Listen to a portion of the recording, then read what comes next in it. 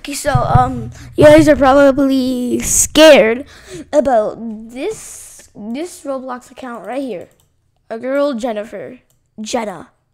So this, so you're probably wondering, is this fake or is this real? Because I think I know the answer. Because I've seen this Roblox movie. You're probably like, you're probably like, Devin, what do you mean? You just saw a Roblox movie? How's that gonna have anything to do with that? Uh, let me show you. Roblox. Oh dear. If you look at this, that is Jenna. That is Jenna. That is Jenna. A horror story. See, Jenna.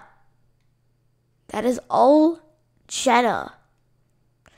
So, this was actually used in a movie. This account was used in a movie. So, I think it, like, look, it's even, it even added the, like, the creator of the movie, as you can see right here. Added the creator of the movie. So, like, how can it be, how can it be, like, how can it be real? Like, I don't know.